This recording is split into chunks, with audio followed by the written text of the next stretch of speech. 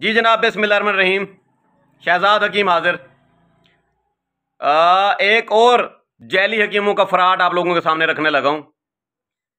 Fraud क्या है कि स्पर्म का मरीज़ अगर इनके पास जाए ना, जिसको उलीगो स्पर्मिया हो, जिसके स्पर्म काउंट कम हो, उसको पता क्या करते हैं ये? सेक्स से रोक रोक देते हैं, इंटरकोर्स से रोक देते हैं।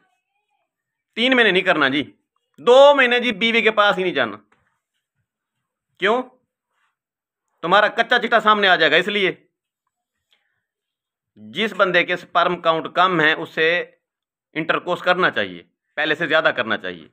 देखिए, सीधी सी बात है, जो कारखाना बंद पड़ा है, वो बंद पड़ा है। उसको जंग भी लगेगा, वो ख़राब भी होगा, उसकी मशीनें भी ख़राब होंगी, ठीक है, उसकी बिजली भी मुअत्तल हो जाएगी, उसके अंदर गैस का इंतज़ाम है, वो भी मुअत्तल हो जाएगा। वो फैक्ट्री बंद हो जाएगी, बर्बाद हो जाएगी। चलाने से चलेगी और आप क्या करते हैं, हकीम साहब? तूने बीवी के पास नहीं जाना क्यों भाई? कहाँ जाए वो बंदा? तो जितने लोगों का स्पर्म काउंट कम है, उन लोगों को मैं सेक्स करने की इंटरकोर्स करने का कहता हूँ कि वो पहले से ज़्यादा इंटरकोर्स करें।